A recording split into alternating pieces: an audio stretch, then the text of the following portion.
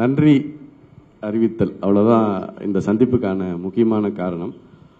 ஏன்னா ஒரு நம்பிக்கையிலிருந்து தான் இது தொடங்குது. நன்றியில் தான் இது முடியணும். ஸோ என் மேலே நம்பிக்கை வச்சு ஜெய்பீம் பிறகு கண்டென்ட் ரிலேட்டடாக ஒரு படம் பண்ணணும் அப்படிங்கிற ஆர்வத்தோடவும் ஈடுபாட்டோடவும் என்னை இந்த படத்துக்கு முதல்ல இது பண்ண சூப்பர் ஸ்டார் அவர்களுக்கு நன்றி சொல்லி நான் இங்கே தொடங்க விரும்புகிறேன் ஏன்னா அவர் இல்லைன்னா இந்த ஜேர்னி இல்லை. இவ்வளவு பேர் சாத்தியம் இல்லை எனக்கு.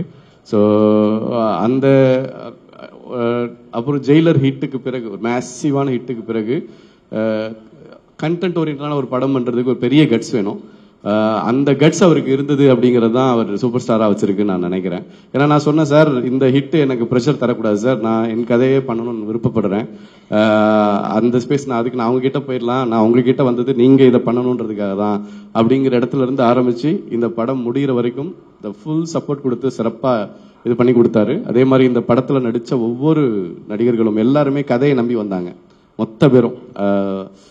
இந்தியாவினுடைய மரியாதைக்குரிய பெருமைக்குரிய அமிதாப் பச்சன் சார் ஃபாத் ஃபாசில் ராணா மஞ்சு மேம் ரித்திகா துஷாரா இதில் நடித்த ஒவ்வொருத்தருமே வந்து இந்த கதையை நம்பி உள்ளே வந்தாங்க. ஸோ என்னால் முடிஞ்ச அளவு எல்லாருமே டீமாக சேர்ந்து நாங்கள் ஜஸ்டிஃபை பண்ணோம். ஸோ இந்த இதுக்கு இப்படியான ஒரு படத்தை நம்பி இவ்வளவு பணம் போட்டு தயாரிக்கிறதுக்கு முன் வந்து முழு சுதந்திரம் கொடுத்து ஒரு படைப்பு சுதந்திரத்தோட ஒரு படம் வெளியில் வர்றதுன்றது ரொம்ப முக்கியம் நான் நினைக்கிறேன்.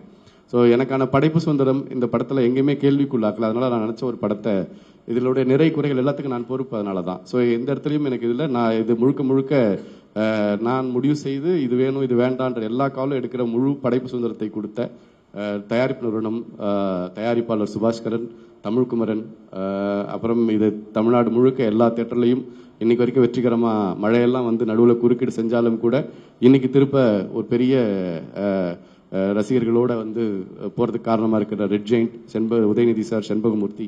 ஸோ இவங்க எல்லாருக்குமே வந்து நான் இந்த இடத்துல ரொம்ப நன்றி சொல்ல கடமைப்பட்டிருக்கேன்.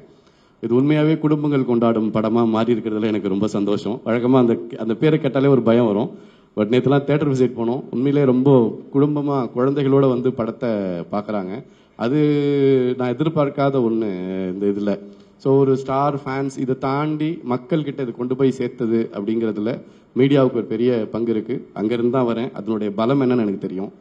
அது அது ஒரு யானை பலம் உடையது அப்படிங்கிறத நான் ரொம்ப பக்கத்துல இருந்து அதுல ஒருத்தனா இருந்து பார்த்திருக்கேன். இப்பயுமே கூட அந்த குணம் என்கிட்ட உயிர்ப்பா இருக்குன்னு நான் நினைக்கிறேன். அதனால தான் வேட்டையின் மாதிரியான படங்கள் பண்ண முடியுது. ஸோ எங்கேயோ ஒரு இடத்துல நம்ம எழுதுற நாலு விஷயங்கள்ல ரெண்டு விஷயமாவது சரியா மக்களுக்கு ஏதோ ஒரு வகையில பயன்படணும் அப்படிங்கிற எண்ணம் எப்பவும் இருக்கும். இந்த எண்ணம் பத்திரிகையாளராக இருந்த காலத்துலேருந்து என்கிட்ட இருக்கு. சினிமாவுக்கு வந்த பிறகும் அதை விடக்கூடாது அப்படின்னு நான் உறுதியாக இருக்கேன். அதுக்கு நீங்க எல்லாரும் கொடுக்குற சப்போர்ட்டுக்கு ரொம்ப ரொம்ப நன்றி.